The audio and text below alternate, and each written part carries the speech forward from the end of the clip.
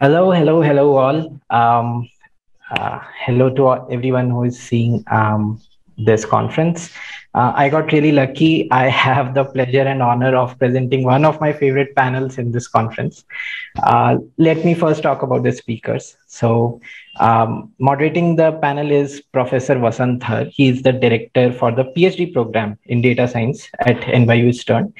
Uh, he's also the founder of SCT Capital Management, his ML driven fund, his research addresses when we should trust AI systems with decision making and how digital platforms should be governed.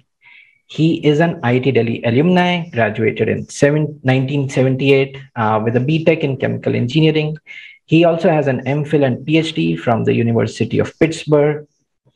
Uh, joining him would be Dr. James Robinson, an economic and political scientist at the Harris School of Public Policy at the University of Chicago. He is widely recognized as the co author of Why Nations Fail The Origins of Power, Prosperity, and Poverty. Currently, an academic advisor at, to the World Bank's 2017 World Development Report on Governance, uh, James Robinson served on the board of the Global Development Network from January 2009 to December 2011 and on the Swedish Development po Policy Council, a committee advising the Swedish foreign minister on the Sweden's international development policy from 2007 to 10. His research focuses on the underlying causes of economic and political divergence and the relationships between political power and institutions and prosperity. They will also be accompanied by Paul Sheard. Paul is a senior research fellow at Mossavar-Rahmani Center for Business and Government at the Harvard Kennedy School of Government. He previously held roles at S&P Global as vice chairman, executive vice president, and chief economist as well, and served as the latter at Lehman Brothers in New York after um, earlier being Lehman's Asia chief economist and head of Japan equity investments. He's a member of the World Economic Forum's Global Future Council on the New Economic Agenda and was a member of the WEF's Global Agenda Council on the International Monetary System uh, 2010 to 2012. He was appointed by two prime ministers to serve on committees of the Japanese government's Economic Deliberation Council, and he regularly attends and speaks at conferences around the world. This talk is titled Brave New World, which is also what Professor Dhar's podcast is named. Coincidence? Uh, no, not really. Both James and Paul have attended the podcast as guests. I would now like to welcome um, these speakers onto the stage, and I'll hand it over to um, Professor Dhar. Uh, the stage is yours. Thank you. Uh, and I'm honored to be here as an IIT alum.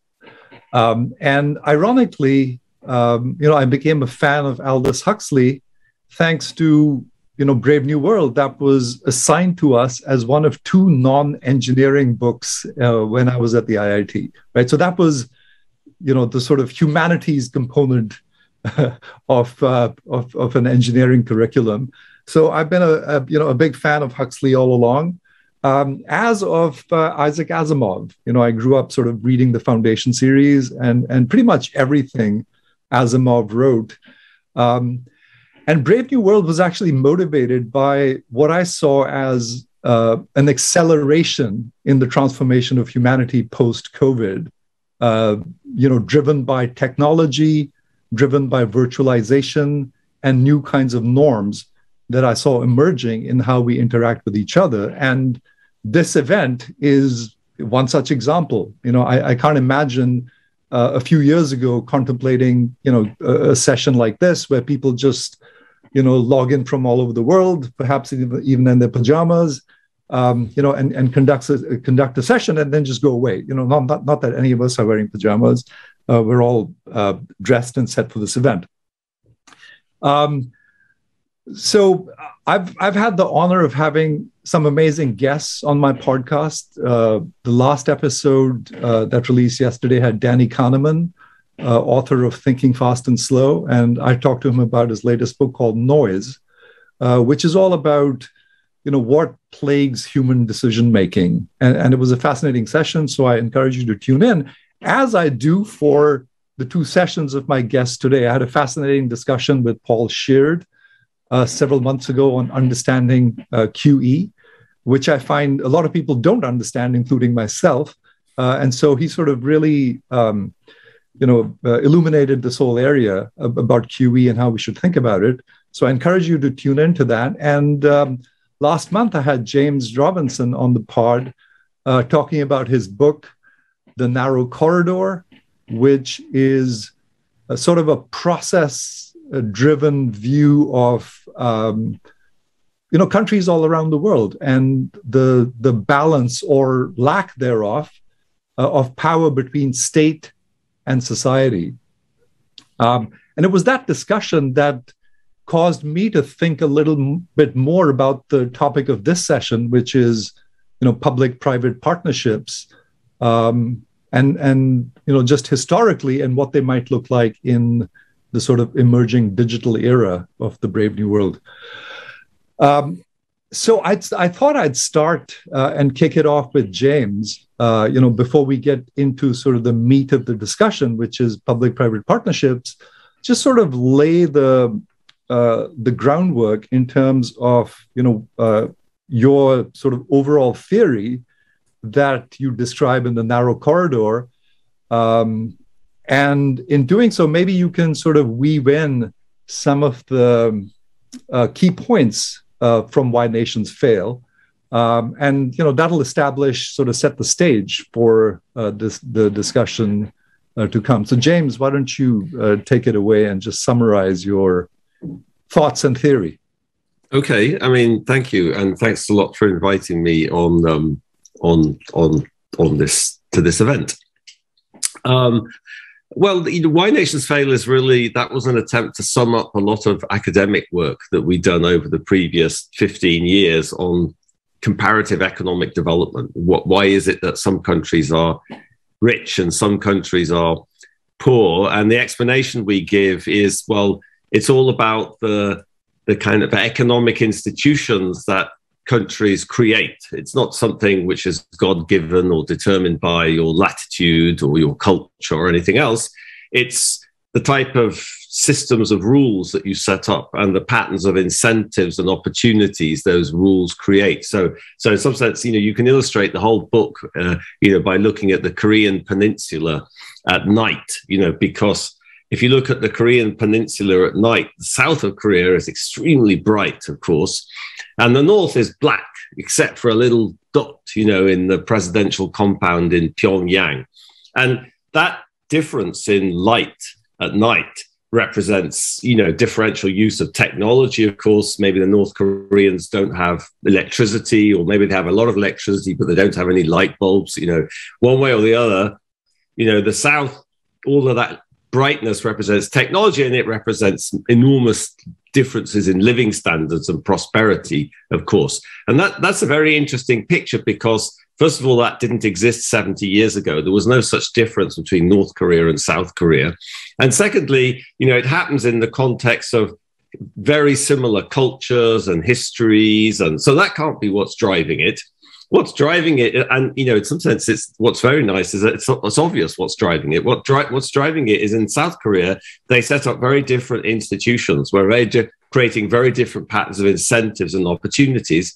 And north korea blocked incentives and opportunities. They set up some Stalinist, centrally planned, regimented, controlled economy where nobody had incentives or opportunities except people at the top of the Communist Party. So it's not a book about socialism versus capitalism. It's a book about institutions and the incentives that institutions create. And so I think that I like that example, first of all, because everyone knows the answer. You already knew the answer to that. What you didn't know was that answer is the basis of a much more general explanation of comparative prosperity. And you also know that it's not enough to stop at economic institutions are different, the rules are incentives are different. But you have to push beyond that and ask why, you know, where did why? You know, those rules were created by political institutions. And that's the next layer of the whole theory Oh, and there's a third layer which where I'll bring the next book in. So I'm doing I'm doing Why Nations Fail in three minutes. So so then okay so so so what do we we have some labels you know for this we say economic institutions in south korea were inclusive you know they they created incentives and opportunity for a broad mass of people in society. In North Korea, economic institutions were extractive. You know, they were designed to control people, to channel resources to a narrow elite. What sort of politics creates inclusive economic institutions, and what sort of politics creates extractive economic institutions? And there, there's two components of that. Inclusive economic institutions emerge when you have inclusive political institutions, where we emphasize both broad based distribution of political power and a strong state. And in some sense, extractive economic institutions emerge when either of those two things fail. In the North Korean case, you could say the state is pretty strong, actually. It's pretty capable of organizing and regulating. But obviously, political power is narrowly concentrated in the hands of the Communist Party. So, so the first book, Why Nations Fail, develops that theory and it applies it in lots of different contexts. But you know, you could ask the question, okay, so then rich countries in the world have these inclusive economic institutions underpinned by inclusive political institutions, and poor countries don't. And poor countries could be, you know, Colombia or Zimbabwe or North Korea or Uzbekistan. They all have extractive institutions. But why does the world look like that? You know, how come the world got divided into places with inclusive institutions and extractive institutions? That's a very deeply historical question. And in Why Nations Fail, you get kind of vignettes about that. And the narrow corridor is much more about trying to develop, as as as Vasant said, you know, trying to develop a kind of process theory, trying to understand the historical dynamics that created inclusive societies in some places and not in other places. Great, thanks. Uh, thanks for that uh, summary, James. Um, Paul, what's your take as an economist on this role and the balance of power between state, society, uh, trusted institutions. Uh, and, and a sub question there, by the way, uh, is you know, did America and Western Europe sort of just get lucky? Um, or was it sort of just more than that? It's wow, a question that, I've asked James previously, but I'll ask you that this time. Right, right. Let me uh, let me see if I can get to that second question eventually. Um, it's a difficult one. Uh, well, first of all, let me again uh, thank you, the organisers, and, and you, Vasant, um, for inviting me to this uh, very interesting and prestigious panel at this Pan IIT World of Technology conference. And congratulations on pulling off the technological feat of, of, of uh, running this conference. Um, and it's a pleasure, an honor to be uh, sharing the stage with such distinguished colleagues. Um, yeah, so maybe just starting as an economist, and you know, I think James is an economist and a political scientist. I'm just an economist, but uh, you know, the sort of the, the confession or the mea culpa up front, um, although I'll go on to absolve myself a little bit, is that economists uh, typically, uh, economics as a subject, has never really focused very much, certainly in most of its uh, development, on the role of institutions. It's been something that's come in as a little bit of a side story. Um, and that's something that, you know, economists are often uh, an ec- economics kind of criticized for, that, you know, too focused on this abstract idea of a market and the role of the government or the state is kind of relegated to a very subsidiary role. Now that's really a stereotype, but uh, you know it's it's it probably broad brush correct. Um, I've, as an economist myself, um, I've always been interested in institutions. It was actually an interest in the more micro level institutions and how did the Japanese subcontracting system work in the automobile industry? That was my piece, first piece of research. And, you know, why is it different from, say, the US uh, or Europe? And um, why does it seem to perform better? And that that issue sort of became writ large with uh, you know, in the 1980s in particular, when you know, Japan rose and it was Japan as number one. And there was a lot of uh, discussion around what is the secret sauce that Japan seems to have in terms of its rapid uh, economic development. Um, so I've kind of worked in this broad area of sort of comparative institutional analysis, um, you know, for, for a long time and very interested in these institutional issues. Um, so I need to get uh, James's second book. I've got his first book, uh, the uh, Why Nation uh, Nations Fail, but I haven't got the Narrow Corridor yet. So that's definitely uh, will be next on my reading list. Let me just start a little bit. Um, you know, at, at, the broadest level, when we talk about public-private uh, partnerships or the, the role of the state versus the market, um, you know, I think you could, at the, broadest level, kind of argue that the whole economy or the whole society is a public-private uh, partnership. Um, again, even if you picked up an introductory economics textbook, you, would be looking at in the micro chapters would be all around, around, about the role of markets and consumer theory and you know how how efficient markets are but there would there would be a passing comment and observation that you know markets really need the government to exist particularly to secure property rights and keep the peace.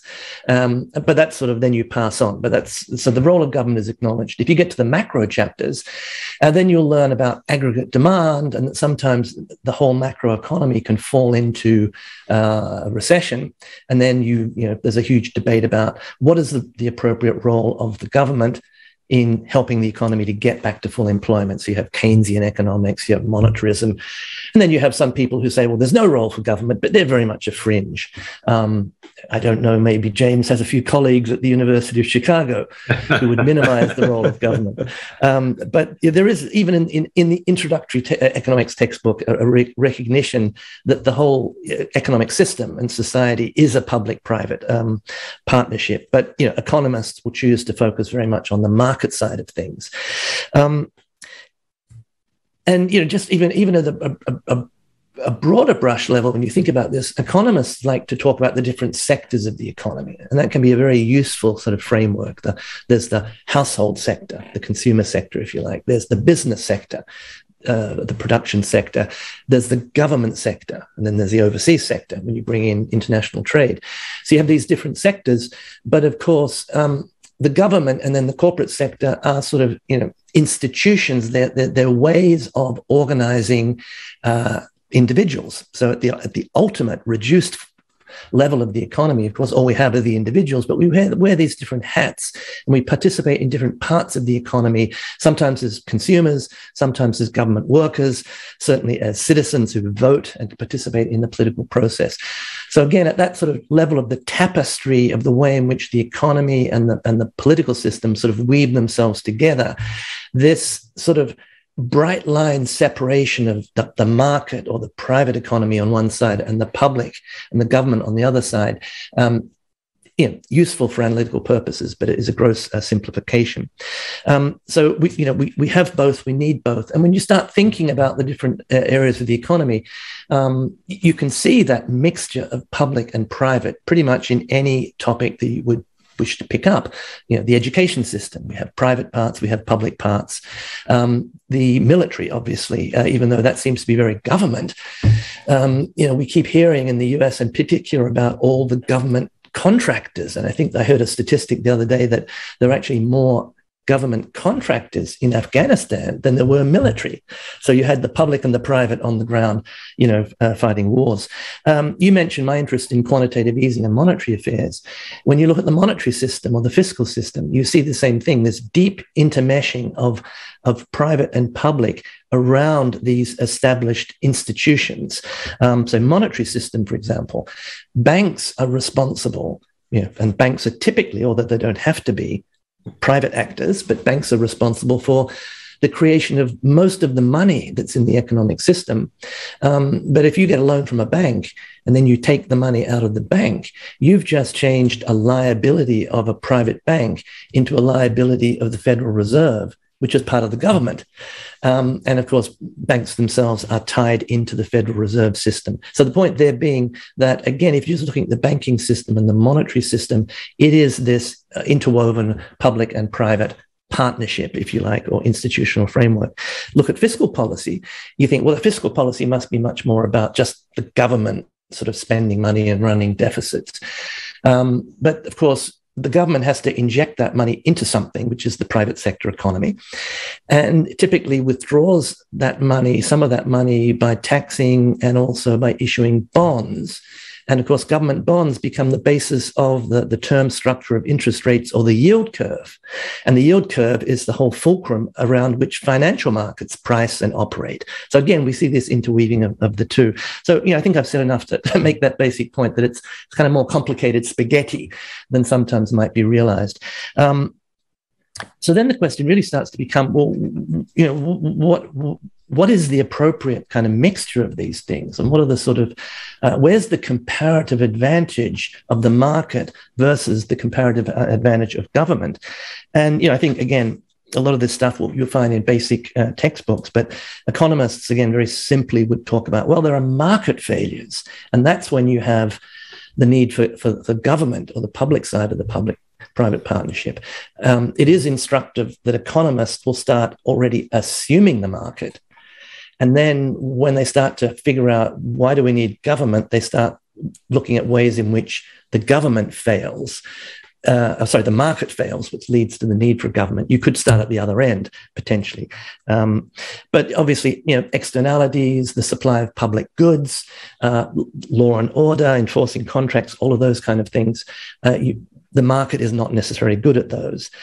And the government, of course, uh, also has failures, and particularly, and this might eventually link into the digitalization discussion, Vasant.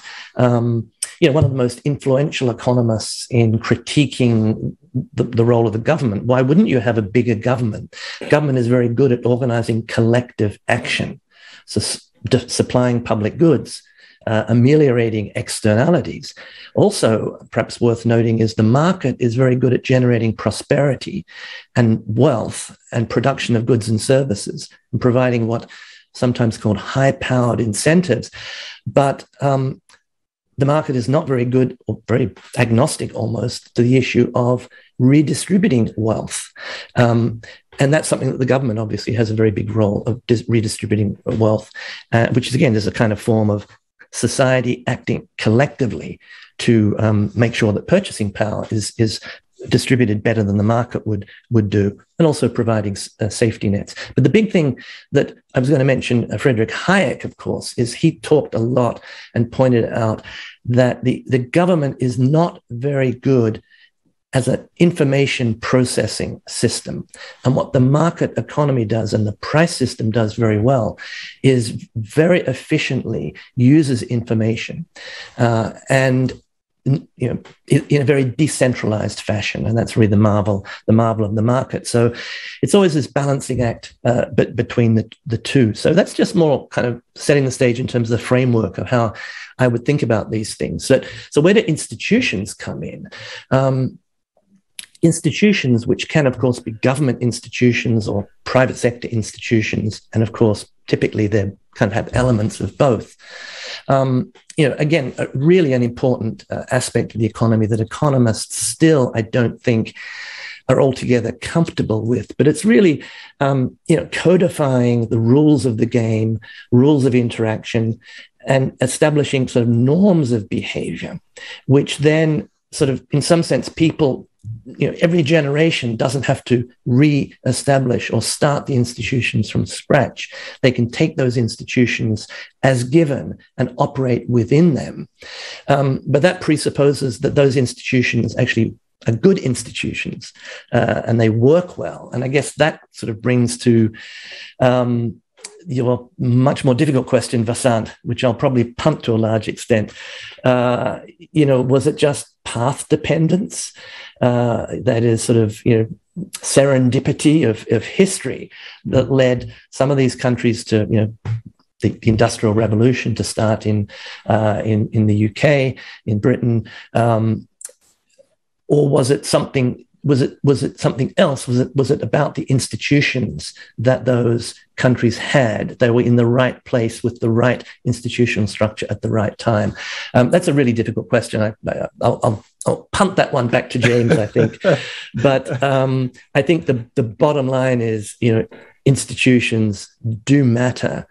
When I look at this question that, that motivates James's research of you know and again, I think economists, other than, than James and his co author and, and, and, a few others, have not really grappled with this well enough. Um, is when you do look around the world, why is it that certain countries have, even if they miss that first uh, you know, train to leave the station.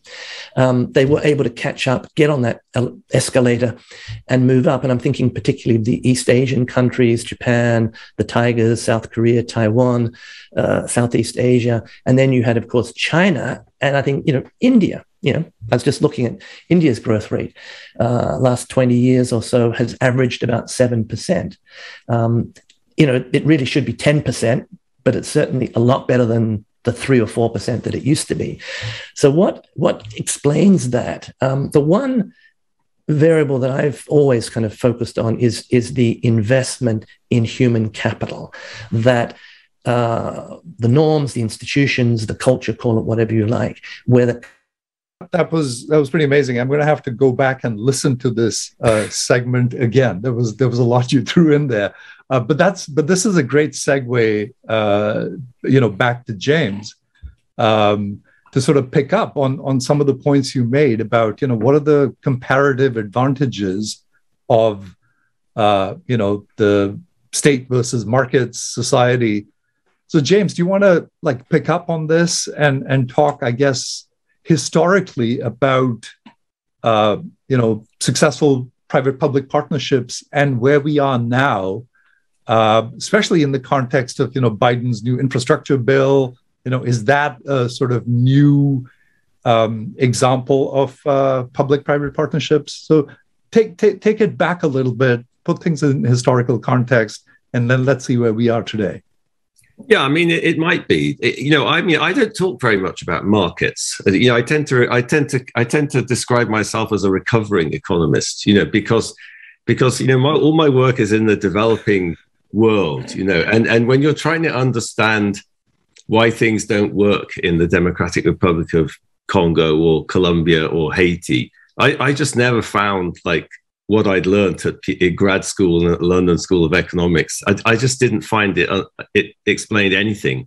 So I, I had to kind of completely like reinvent myself to, to find concepts and ideas that that did seem to explain a little bit. Not that I pretend to understand any of those countries, um, so, so, so I, you know, so, so I, am not going to talk too much about markets actually, because the, what we talk about much more is about power and how power is distributed in society, and you know what kind of institutions get created as a result of that power. You know, the institutions get created maybe to perpetuate your power or to stop other people gaining power or perhaps to create wealth too because you know people have materialistic interests. And you know, when we talk, when I was talking earlier about, you know, how is it that where did these inclusive institutions come from? That's about how power is distributed in society in some sense. And I think there is a lot of lot of idiosyncrasy in how power gets distributed. You know, historical events can empower certain groups in society, and and you know, and then there's an enormous amount of path dependence so so you know so if we you you know you read you asked you know you articulated the question you know why did the industrial revolution happen in in england or western europe you know i would say well that's because they developed inclusive much more inclusive institutions than anyone had ever done historically i mean you can find pockets of inclusion wherever you look, you know, like classical Athens or the Central Valley of, you know, Oaxaca, you know, in the pre-Columbian period or whatever. So let me not go into that. But but but this was, you know, these were very inclusive by world historical standards. And that created all sorts of incentives and opportunities that stimulated entrepreneurship and innovation and develop of co- development of corporate forms and development of markets and trade and mercantile activities, all sorts of things. So, so we kind of see that as something which flows from the institution once you get the institutions right you know then then all of that stuff is going to happen. So so our focus is much more on the institutions rather than all that other stuff even though obviously that's very important and economists you know but like one of the places that you know Acemoglu and I started on this 30 years ago was well economists understand extremely well you know what creates economic growth. It's investment in education and innovation and capital accumulation and public goods. And so why the heck you know when it's so well known and every economist agrees you know why on earth isn't everyone doing it? You know there's there must be some explanation for that. It's not there aren't incentives because look at what happened in east asia. You know if you start doing the right thing the economy explodes at 10% a year. You know, it's not like you have to wait very long for the prosperity. So it's not just about impatience, which was sort of the canonical theory when I was a graduate student. There's got to be something else going on here. And, you know, my whole career has been sort of searching for what else has been going on. So, so, so how did these institutions emerge in Western Europe? And why did they emerge in Western Europe, you know, and not in China or India or somewhere else? You know, well, that as I, you know, in, in the narrow corridor provides this very simple way of thinking about that. And it's about the balance of power between the state and society and how that comes to sort of gel in a particular way and how it reproduces itself. So without going into all the details, you know, if I thought, if you know, if you asked me about Western Europe, why did the Industrial Revolution happen in Western Europe? I'd say, well, you have to go back to the collapse of the Western Roman Empire, and at the end of the Roman Western Roman Empire, the Western Europe was overrun by these Germanic tribes. And what's interesting about the Germanic tribes is they had this incredibly participatory political system. So the tribes were organized around these assemblies and very democratic practices. And then what the Merovingians did was to fuse these very participatory political institutions with late Roman state institutions, administrative institutions, the church, uh, fiscal institutions, not quite so well, judicial institutions. You know, they had suddenly they could read and write and they could write laws and promulgate the Salic Code. And but they merged that in a brilliant way with these very participatory political institutions. And, and to me, that's like the pivotal moment that sets Western Europe off on a very different dynamic from China, for example, where that moment never happened, you know, uh, or India, you know, where things were. I could talk about India if you want, but, you know, so of course, then you're thinking, oh my gosh, but, you know, that's 500, you know, that's 500 AD. The Industrial Revolution didn't start until 1770 or something. Well, that's where the process comes in. You know, you don't just build in modern institutions overnight. There's a process. There's a we call this the Red Queen effect, the process where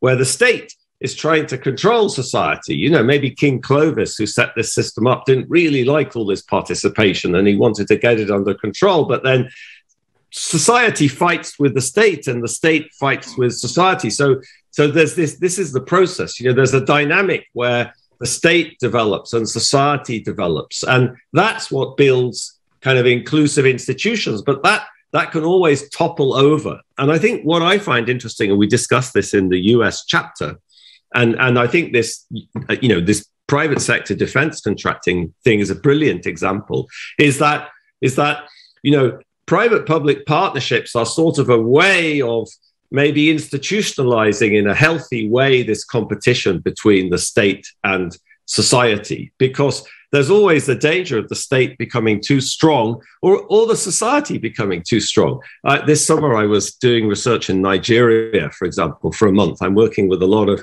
uh, scholars at the University of Nigeria in Nsukka. And I was staying in my friend, this one of my friend's villages in the east of Nigeria. And like that village is totally self-organizing. The federal government does nothing. There's no employee of the federal government. They provide security, they provide public goods. You need a school, you collect money you know you need street lighting you collect money. The government does nothing and the government they don't expect or want anything from the federal government of nigeria. So that's not that's not a situation where this competition is going on at all. They're completely isolated from the government. You know they hate the government. They don't want anything to do with the government. So there's no competition. The state isn't trying to control them. They're not trying to control the state. So that dynamic you know that got going in western europe doesn't work in Nigeria. It's completely broken. And so, you know, so it's difficult to manage this thing.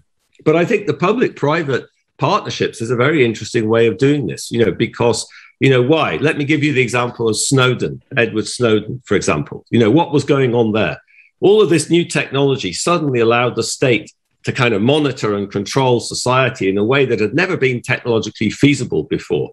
What was Snowden doing? Snowden was working for a contractor, working for the government. That's a private public partnership. He was working for a contractor. What did he do? He blew the whistle.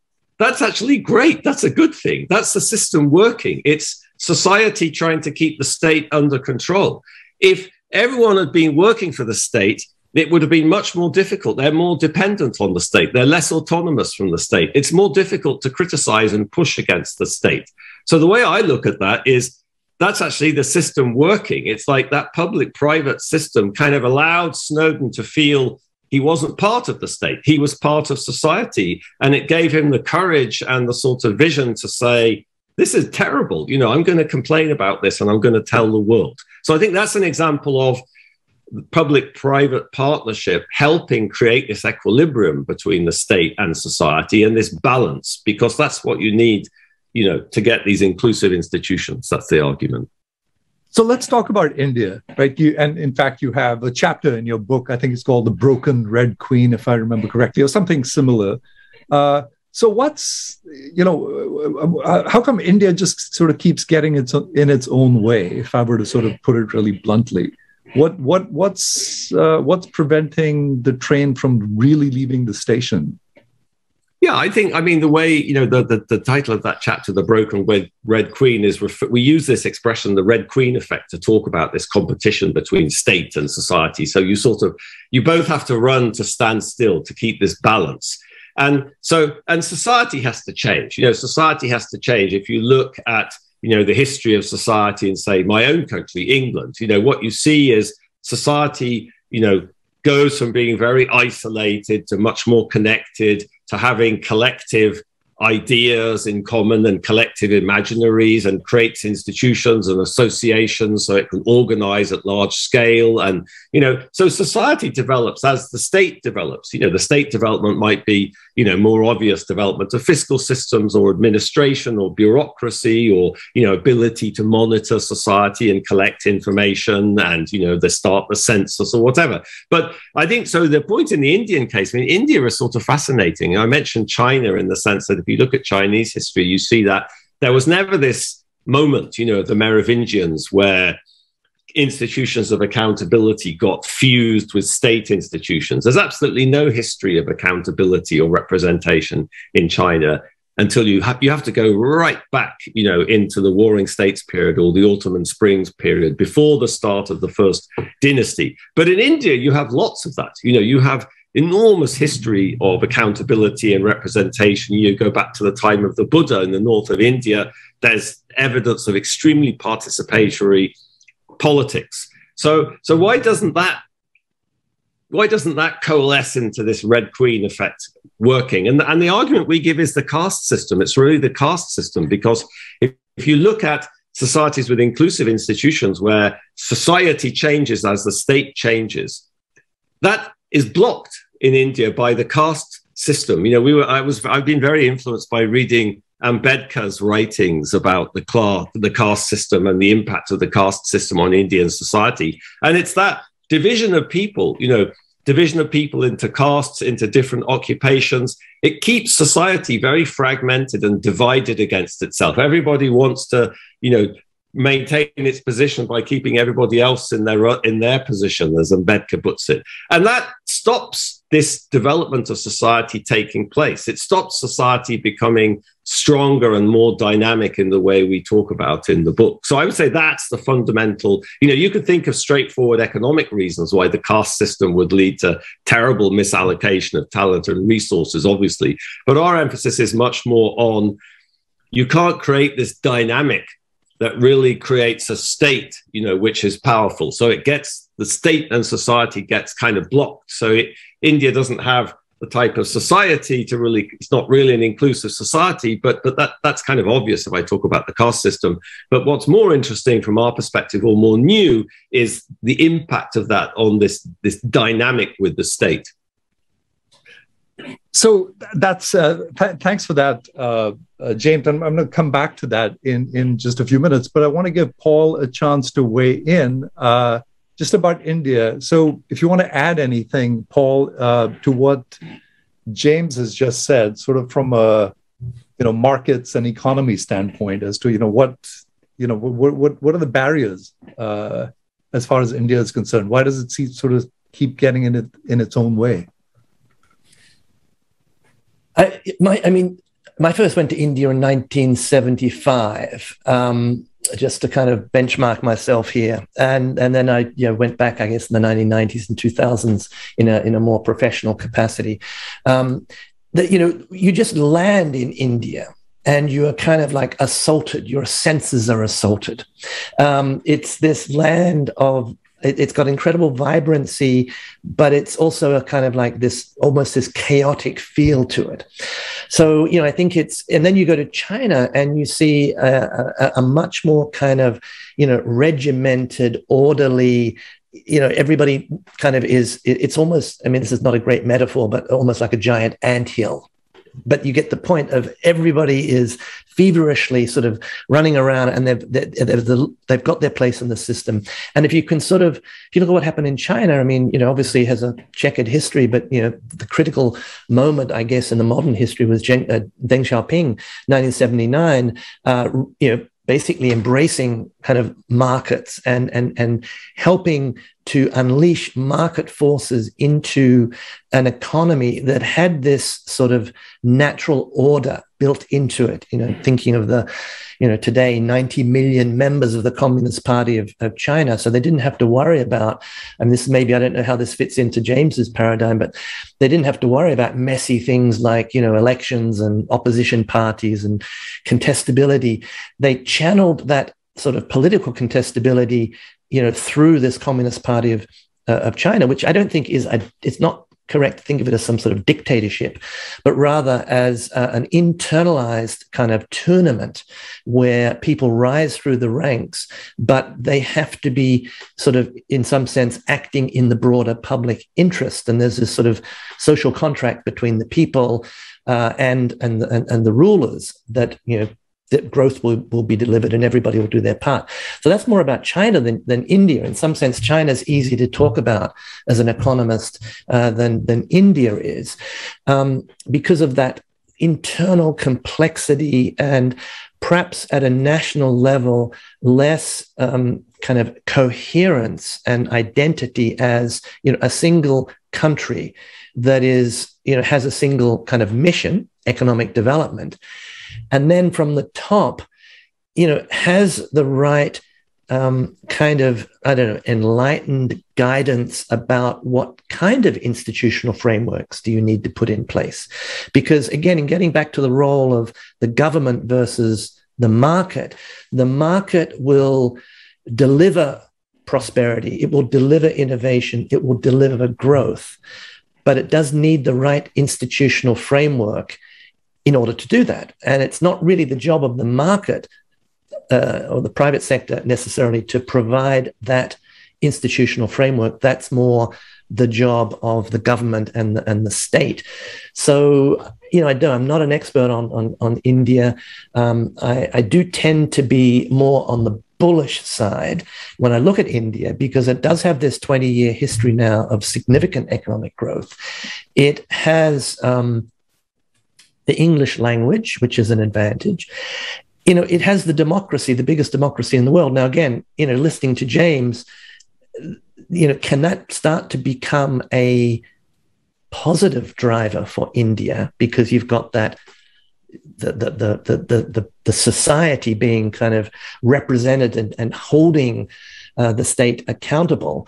Um, but it doesn't seem to have worked necessarily in that way up to date. But, may, but one of the things that strikes me with this whole discussion, Vasant, and this whole big debate about comparative economic development and, and everything else, is that things that initial conditions and path dependence has been mentioned a few times, but things that seem to work um, in certain periods turn to fail, uh, tend to fail in others.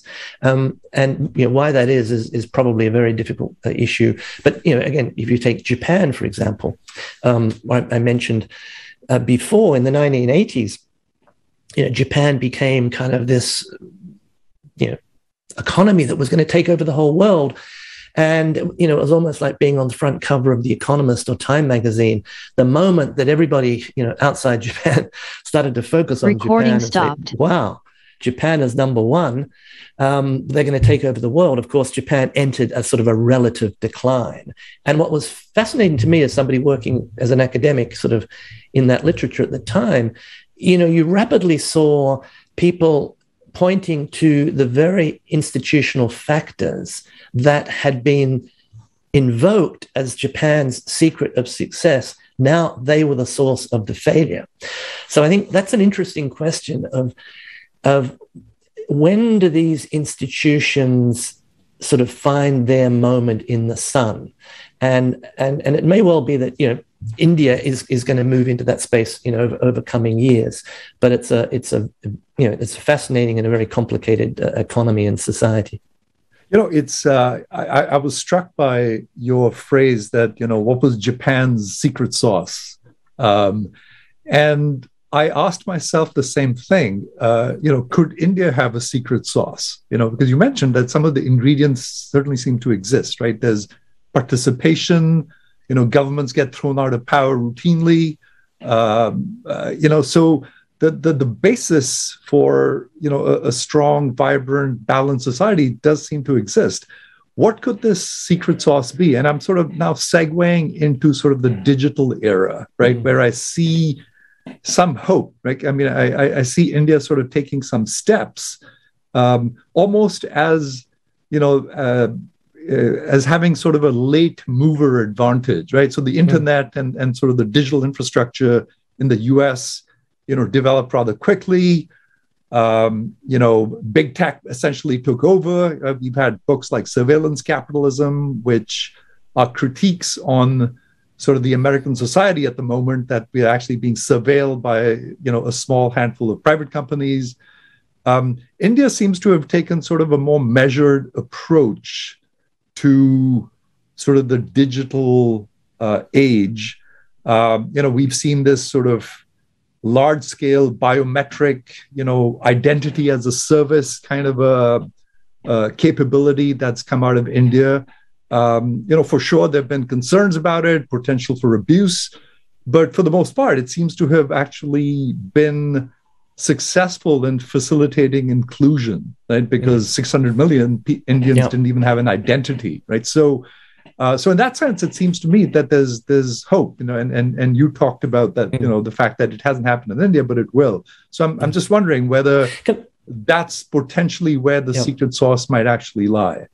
Can I can I just jump back in there before going to, going to James? Just yeah, I, no, I think that's it, and that was sort of the um, the basis of my sort of guarded optimism about about India is, uh, and you know, I, remember being in Japan, oh, sorry, India, India a few years back, and uh, visiting government offices and hearing from some of the senior officials about the JAM program, and they were explaining it to me, and I nearly fell off my seat um, because I hadn't realized, you know, it, it, it, it you know, it sounded aspirational. This is, of course, everybody on this call, I, I, guess, knows, but maybe the podcast listeners eventually. Um, this JAM uh, kind of program is, as I understand it, uh, the, the three initials stand for sort of the financial inclusion, everybody getting a bank account or access to bank accounts, the identity system, the uh, uh, Ad, Aadhaar system, if, if I got the pronunciation right, where everybody has a, a biometric identity and a, a 12 digit sort of number, and then the mobile using the, the mobile tech technology. So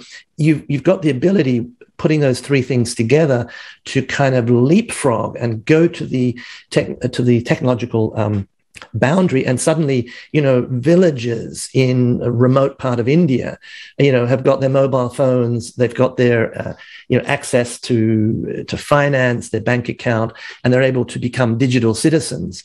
And it sort of just suddenly you know i mean this is the power of the internet opens up the whole world. I mean this these devices that we now take for granted you know just incredible empowering devices um, if you can use them in the, in the right way. And then of course when you talk IT. I mean, India is almost the first thing that, that pops into your mind. And then the other element with India, which it, it plays into here, I think, is the diaspora.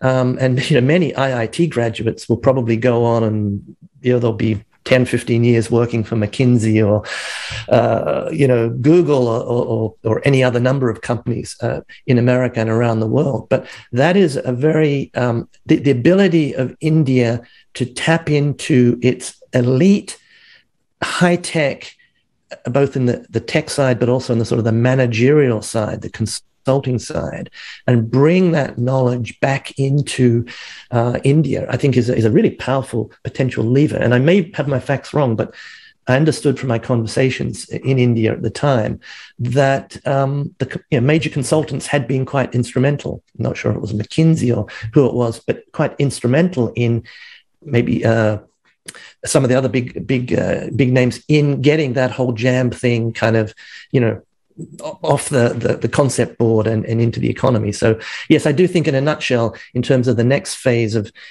India's growth, and, and, and the other thing as an economist looking at India, I look at China, and you know, China's moved you know 20 30 years ahead of china the flip side of that is that india has got still tremendous economic development potential if you look at per capita GDP, it's still quite low. It's um, in PPP basis, China's about almost three times as much as India in nominal terms.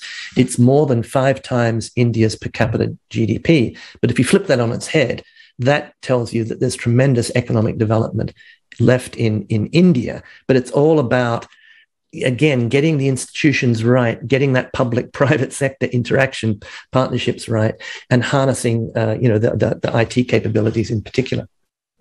Uh, thanks, Paul. Um, we've uh, actually moved into the Q and A uh, um, part of the session, but before we do that, I just want to let uh, James weigh in again on this whole public-private partnerships and digital. Um, uh, James. Yeah, I don't know. I, let me disagree with two things Paul said. So, first of all, I really disagree with this characterization of what's going on in China. There's no social contract in China. There's a hideous dictatorship. If there was a social contract, the Chinese wouldn't be needing to use all their information technology to create a social credit system to monitor everybody and repress millions of people in Central Asia. You know, it's a personalized dictatorship. Sure, they didn't need to, Deng Xiaoping didn't need to consult the people, you know, to change course. And they didn't need to consult the people to launch the Great Leap Forward either, or the Cultural Revolution, murdering tens of millions of people. I think if you look at Chinese history, you see that they do not have a sustainable model of political institutions to underpin this. I think, you know, yes, part of the story in China is a movement from very extractive economic institutions in the 1970s to much more inclusive economic institutions. And then all the sort of stuff, you know, happens that economists love. But the whole point of why nations fail is that's not sustainable without political institutions that are also inclusive. And China doesn't have that. So, so, you know, so my view is that China does not have a sustainable model of economic growth at all, and it's all going to end in a very ugly way. You know, so just to say, my second my second observation is, you know, so so I think this thing about technology is really fascinating. You know, this this whether or not the enormous innovations in technology and these kind of things that Paul was talking about in India can really move India onto a different path, a different trajectory, can kind of perturb its equilibrium in some way.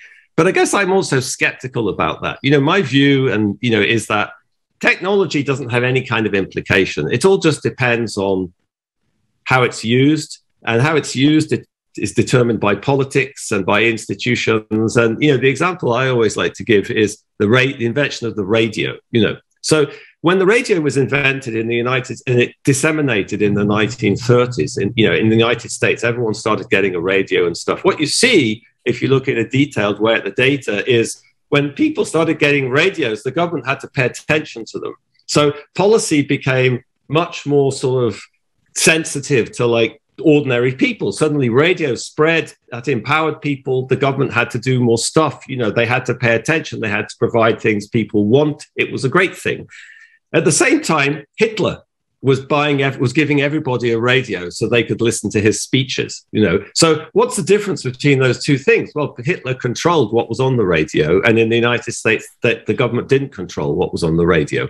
So so i think like that's a simple example of the technology is identical. You know it's spreading and diffusing at the same time but it has radically different consequences because of who controls it and what their incentives are and what the politics is. So so i you know so that that's kind of my my take on all of this.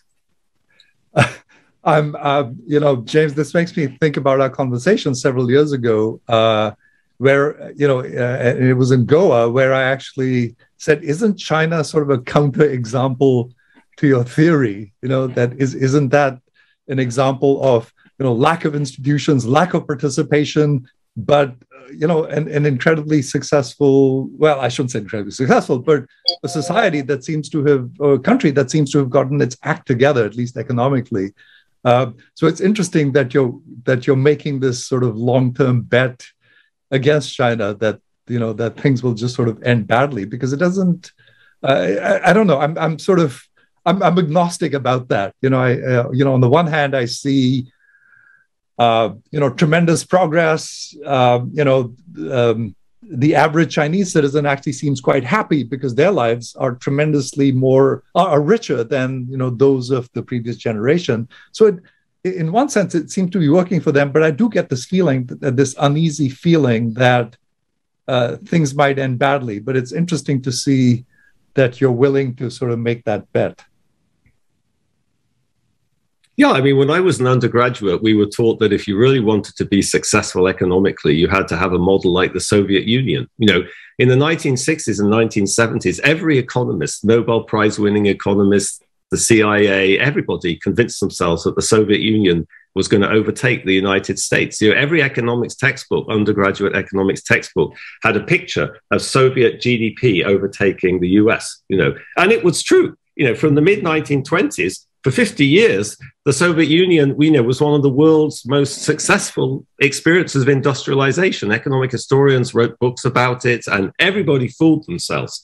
And now, you know, you tell students that they sort of laugh at you. You know, no one remembers. You know, but you you're all old enough. You're as old as me, probably. So, so, so, so, so you're old. You know, like I think that's a very salutary example to remind ourselves of. You know, there's many experiences of transitory work, you know, growth in history that have kind of not really been based have been based on being in the right place at the right time like argentina you know for 50 years before the first world war. They're sitting on this incredibly productive land. Commodity prices are booming. You don't have to do much to kind of you know it's the same with the Chinese you know the Chinese are sort of have these incredibly low wages. They have this sort of docile you know people who can be controlled. There's this enormous opportunity you know for expansion internationally and globally and it's happened many times in world history. So um, I'll just uh, throw open this to either of you. Uh, uh, James, you know, you mentioned technology, and uh, Paul and I, sort of on the side, have been having this discussion about the fact that, at least in the U.S., technology sort of now makes up half the economy.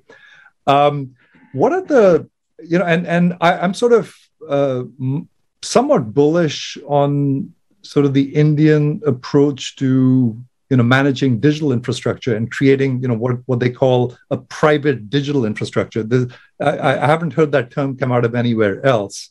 Um, and that you know identity as a service is uh, you know part of that public digital infrastructure. Payments will be you know part of this public digital infrastructure which i view as sort of digital utilities. Do any of you want to comment uh, on why this sort of new um, evolution in technology is different from the previous one and what the opportunities and risks might be um, in this um, you know progression to sort of a more digital future. Do either of you want to uh, comment on that? Yeah it's a well that's a that's a it's a a, a big question. Um, I mean, let me let me just maybe approach maybe a, answer maybe a different question, but maybe as a way of getting at it is is really how is you know how is digitalization um, you know changing uh, this you know this the nature of these sort of partnerships between the, the, the private and the public sector what are the implications of all this digitalization um, for that and and you know i think this is it's a kind of fascinating um, topic. I think, in in some sense, I mean, what we've definitely seen is the technology and the digital economy just like you know going ahead in leaps and bounds and a, a kind of frenetic kind of rate, rate, and really going sort of well beyond the uh, the ability of the, the state, if you like, or the, the government or, the, or the, the public sphere to really kind of get their hands around it and, and, and sort of regulate it and, and establish the rules of the road. And you know, we're talking about the infrastructure package, the, the $3.5 trillion infrastructure package before, touched on, that a little bit. One of the fascinating things sort of in looking at the US and looking at sort of infrastructure here, um, is that when you look at the physical infrastructure, you know, the the, the bridges and the, the, the subway systems and the uh, the airports and, and much of the physical infrastructure, uh, even the roads and potholes and the, the resilience of the physical infrastructure or lack thereof to, you know, stress events like we just had the Ida hurricane um, in, in the US. Um, you know, it looks, it looks very bad and fragile. I think the, the American Society of Engineers famously has a, like a D rating or something on the quality of the infrastructure. So that $3.5 trillion package, you know, is getting you know, putting aside the actual you know what's in the making of that sausage what's actually in there you know big picture seems to be something that is really needed.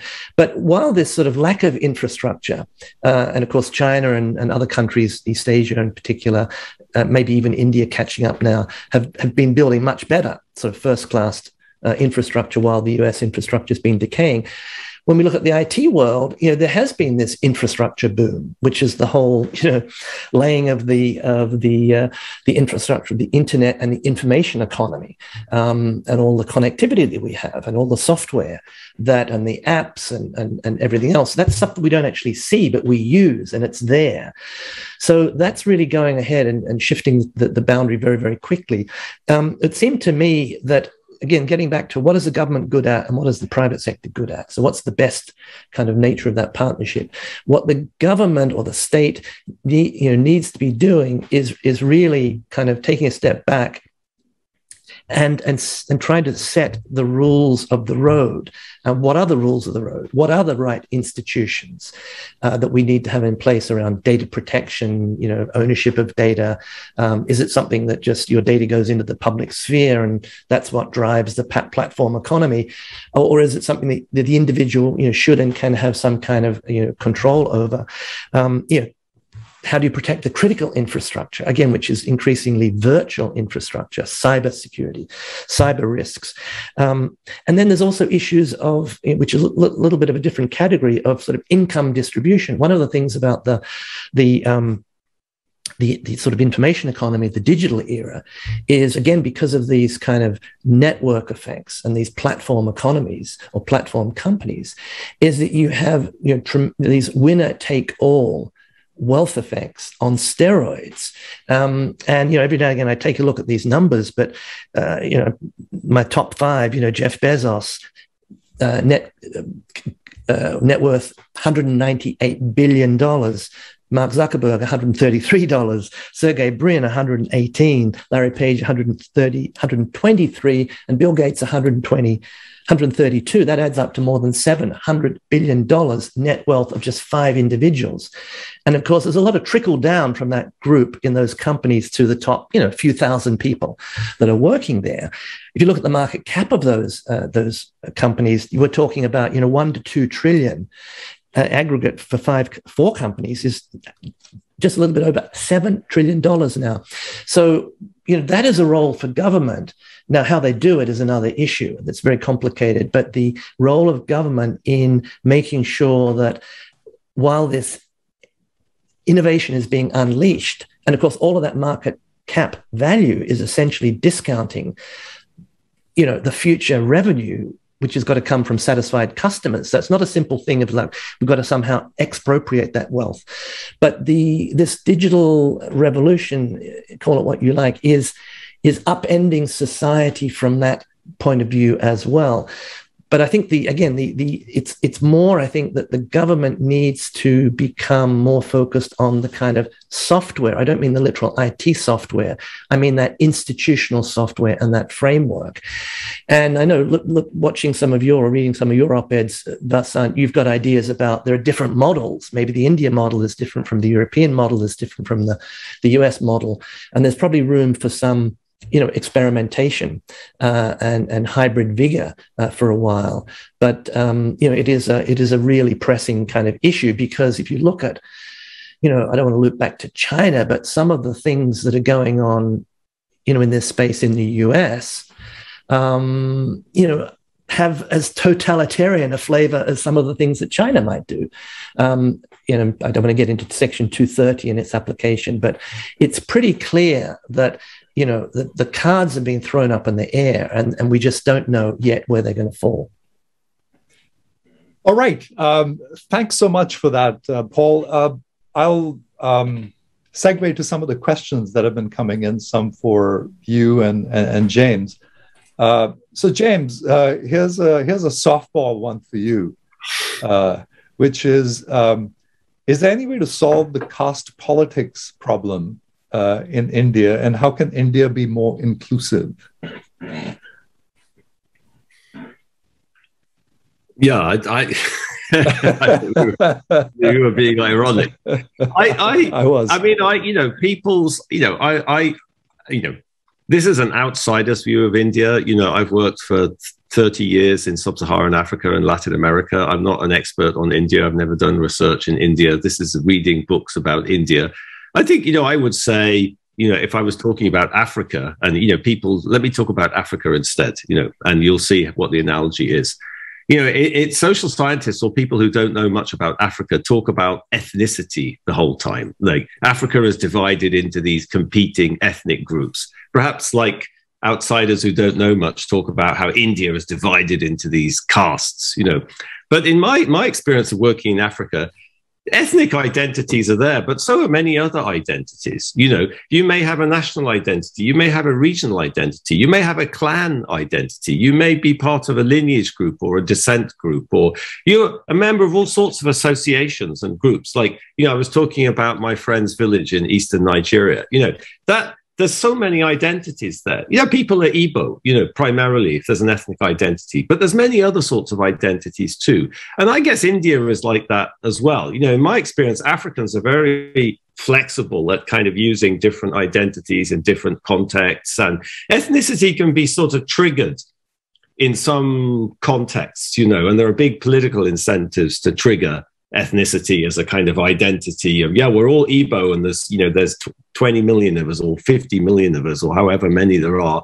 And you should all vote for me because we're all Igbo together you know. But I think the reality of African life is not like that. And I guess if I knew more about India you know if I'd done the kind of work in India that I've done in Africa perhaps I'd I'd understand actually that's you know there's many Indians have many identities and there's lots of scope for kind of reconfiguring the way people identify in in different ways and coming together across caste and and you know for caste withering away and and you know so i don't know how that would how that would how that would work you know or what would bring that together you know whether that's you know i think that's probably very idiosyncratic. I could talk about africa but but i kind of made the analogy just to say people have lots of identities, and I could easily, you know, could I imagine a scenario where caste disappeared and, and Indians related to each other in a different way, which was more compatible with having an inclusive society. And yes, I can I can imagine that. You know, what what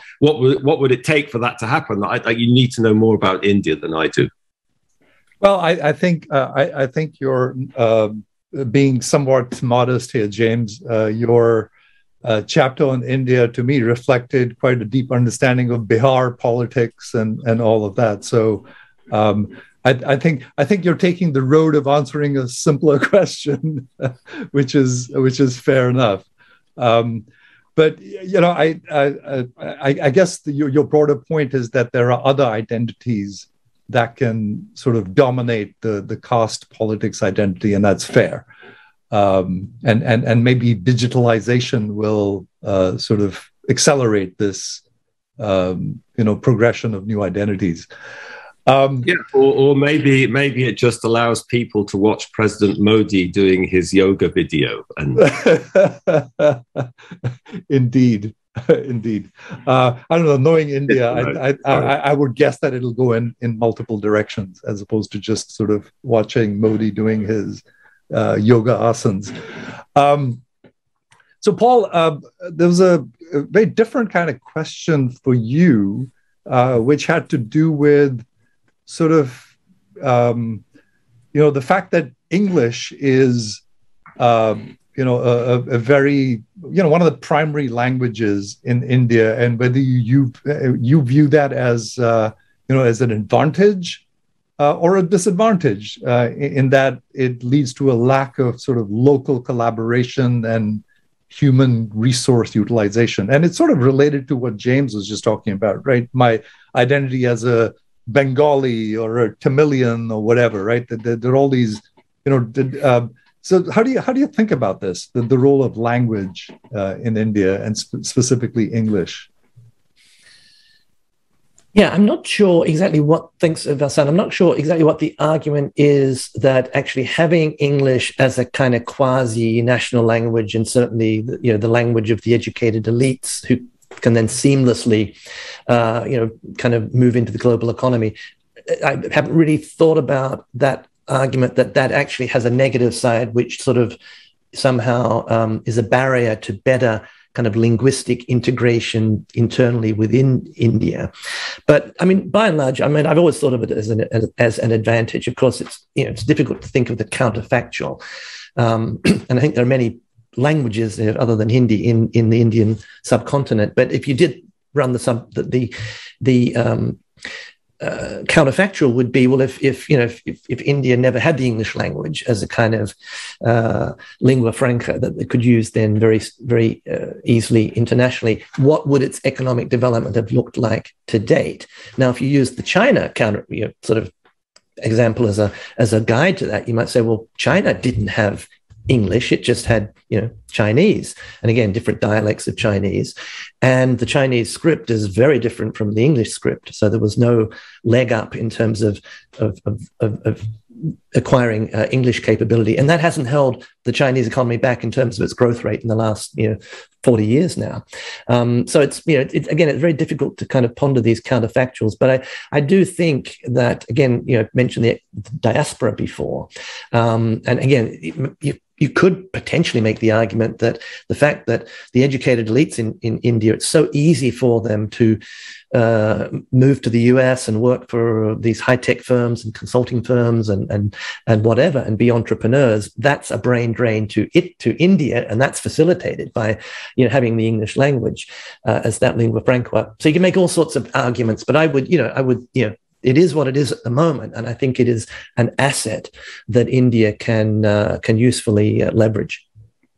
So um, let's uh, thanks for that, Paul. Um, let's just end with a question that that just came in, which is, and this is for both of you. Um, and the question is that China may or may not sort of end up with a bang or a crash, but it's certainly embracing a growth retarding strategy by focusing on non-economic issues such as demarcation of the border all the way to Taiwan, forcing minorities to embrace, uh, you know, the CCP's view of the country. So the question from from this sort of um, uh, narrative is, what's the lesson for Indian economy and the rise in identity politics? Okay, well, I will I go first. That's a tricky one. Maybe I'll go first and give the last word to uh, to James. Um, it's it's it's it's a really kind of difficult uh, difficult question. I mean, just maybe picking up, you know, can come back and put a bow on my my thoughts on on, on China. Um, you know, I certainly wouldn't sit here as, as somebody who would like you know be a China apologist or you know anything like that. But you know, somebody as a global economist that's looked at the global economy for many years, and you know has observed the rise of China. Um, you do have, to, you know, you I think you do have to sort of look at it and, and, and, and a little bit on their terms. I used to say the, the term social contract before. Maybe that was a little bit lazy intellectually. I, I think the system has operated as if there is some kind of social contract between the population and the, the ruling class. Uh, I don't think it's right to look at China as this, you know, I mean, you often hear like Xi Jinping as this dictator. You know, he's the top of this 90 million person internal political labor market and tournament and he got to the top. And and i think you know that the leaders the leadership in china are very attuned to um, yes they probably like their political power but they're very attuned to the idea that them, one of their main mission is on the economic side that's my obviously area on delivering and securing economic development and doing sort of what it takes, what they think it takes to do that. On the military, the geopolitical side, that's a whole different kind of conversation.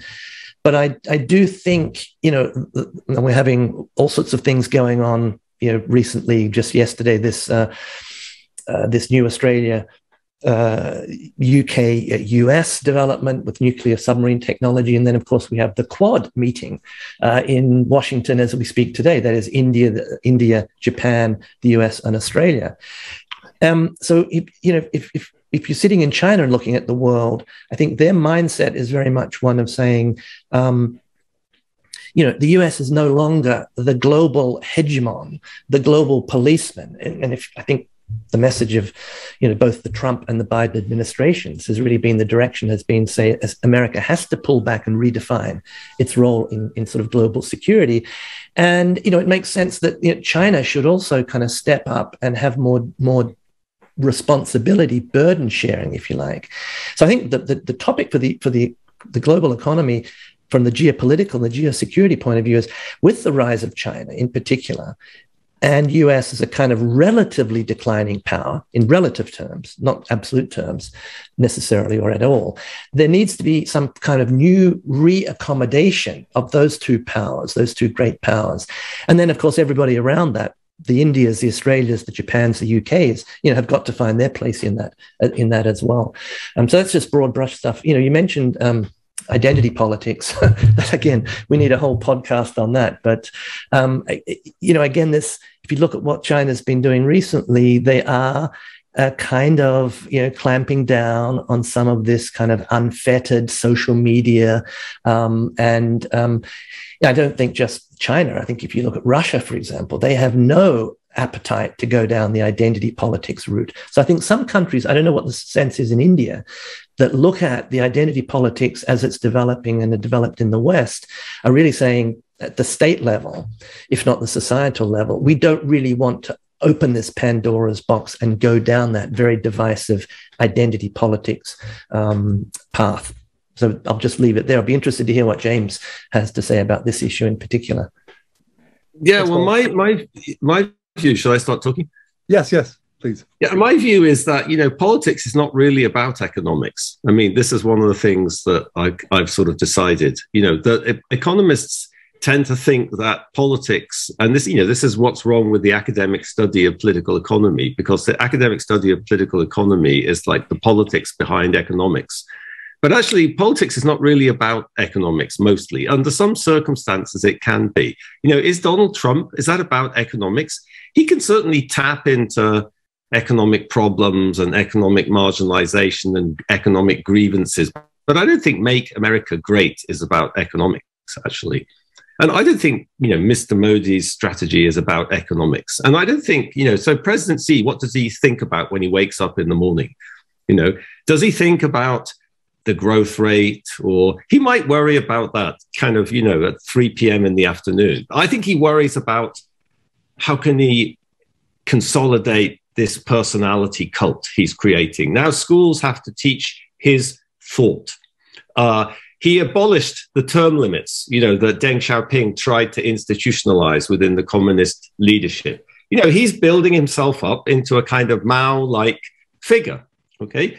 Yeah, it's true. There's all these people competing with him. If they get too big, like Jack Ma, they disappear from public for a bit, you know, or they get taxed to oblivion. So that's what happens. You know, if you're in the Communist Party and you get too big for your boots, you get arrested and suddenly your hair goes white. Sorry, Vasant. You know, yeah. but in China, everyone's hair is black until they get arrested and then it goes white. You know, so I think you know if you look at the Cultural Revolution, what was the Cultural Revolution? The Cultural Revolution was exactly an attempt to get all these competitors in the Communist Party under control, and Mao did that by by getting them to fight each other and unleashing you know the red the red guards against you know people like Deng Xiaoping and sending him off to a tractor factor tractor factory in in in Inner Mongolia or something. So I I you know I don't see China as anything like as stable as as, as you do, and I just think generally you know, in Latin America, I've studied a lot. You know, you look at President Chavez. You know, was that is is politics about economics?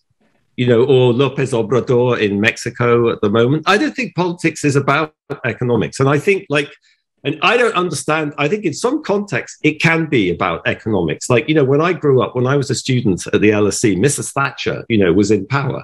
And I think Mrs. Thatcher, it was a rare moment where she sort of decided that if I emphasize all these economic things, it's actually consistent with my political goals. You know, what did she really want to do? She wanted to emasculate the trade union movement. She wanted to demolish the social basis of the Labour Party and create a political transition. And it just so happened that that coincided with particular sorts of economic policies freeing the market, which I don't think she really cared about, but she saw that it was consistent with her political goals. If you look at the Pinochet dictatorship, it's another great example of that. You know, when General Pinochet came to power in Chile in 1973, he didn't have an economic policy. He just wanted to get rid of these people he thought were communists and kind of roll back communism and get the unions under control and kind of emasculate socialism in Chile.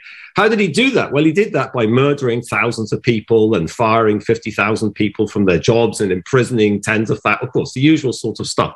But then he also realized that these free market economic policies would actually destroy many of the bases for political opposition to him. So he embraced free market economics. So, you know, I, that's the way I think about politics. Politicians don't think about economics, you know, except marginally. You know, it can jeopardize their power or authority, but it's only a small part of what politics is about, I would say. And I'm sure that's the way Mr. Modi thinks. So uh, we have a few minutes left, and a question just came in. I, I, think I already know the answer to this because we talked about it in non-pod. Um, so uh, the question is, what's the role of religion in enhancing or retarding economic prosperity? You touched on the caste system, but this one is touching on religion, and you and I talked about sort of Hinduism versus Islam and all that kind of stuff. So, uh, do, do you want to take this uh, before we wrap up, James? Yeah, I mean that's a fascinating question. I mean, I, I, you know, I think Paul also. I like Paul, Paul's discussion about English. I think that's all. You know, that's not. I think that's also a fascinating. What is in uh, speaking English? Is that an advantage for India or a disadvantage? I, I think he's absolutely right. There's lots of mechanisms, but there's no good social scientific research on that. And I think it, religion is sort of the same. You know, you can think that you know religion having a religion in common, you know, creates incentives. You know, think about the Ten Commandments. You know, like one view of world history is that, you know, people emphasize a lot the Neolithic Revolution and the transition to agriculture 10,000 BC, but nothing really happens after that, you know, for 9,000 years or whatever it is. Things start happening when big modern ethical systems emerge. And some of those are religion. Some of those are religious you know the old the, the prophets of the old testament you know or thou shalt not kill you know there's sort of rules and rules come out of religion. Of course some of them are very secular. You could say confucius also produced a system of rules but that was a very secular system. So i don't think religion is necessarily connected to institutions but in some contexts clearly it is and it's a source of institutions and it can be a source of homogeneous institutions also you know which creates inclusion where everyone is treated the same. You know you could say islam is like that. You know islam is a great source of inclusion in the sense that there's a set of rules it applies to everyone there's kind of equality you know and and so so i I find religion sort of fascinating, but I don't think there's very much good social science evidence one way or the other for for its role. I think you see these societies, you know, like think about Japan. You know, Japan, there's no kind of centralized Western style religion in Japan. You know, everyone's a god. You know, it's sort of, it's, you know, it's very hard to put your hands on religion in, in, in Japan. And, you know, but they succeeded. You know, other places, you know, with Christianity succeeded or, you know, or I don't know. Like, so I, I, I, it's very hard to get what the evidence is on that question. All right. Uh, thanks for that, James. Uh, but, but Paul, can, any, yes, yeah, please. No, just ahead. I mean, just just maybe to tie a bow on that because because James mentioned Japan, where I lived for many years, um, and mentioned the Shinto religion. Uh, the, the, sort of joke in Japan is that uh, Japanese are born into Shintoism, they marry as Christians, and they die as Buddhists. Um, but I just uh, just maybe two other further comments. Um, so that's sort of the eclectic nature of, of religion. But I think James is, is is very right that obviously, you know, religion uh, feeds into moral and legal kind of codes. It also feed and it feeds into kind of like what is your belief about the meaning of life and your place in the universe. And you know, I'm sure that you could probably make some argument that depending on the nature of, of, of, of, that, of those respective systems, that may reflect itself in different kinds of mindsets, and that may feed into kind of social capital in a way uh, as well, which is, uh, uh, you know, I think an important ingredient. Again, we've talked about institutions and markets and the state, etc. Um, but the formation of, of social capital and how that social capital helps to drive growth and prosperity, I think, is another way of looking at this this whole thing. But um, yeah, it's a it's a again another podcast, I think, but maybe with a different panelist in my case for religion. Indeed, yeah, no, you know, my my my, I guess my summary answer to that would have been, you know, that it depends on whether it how it's practiced and whether it pushes you into the corridor or out of it. So, on that note, uh, James and Paul, thank you so much for uh, being on this uh, session. It's been a fascinating conversation. I certainly enjoyed it, and I hope everyone out there did as well. Thank you all for tuning in. Thank Thanks you again. Thank you. Thank you.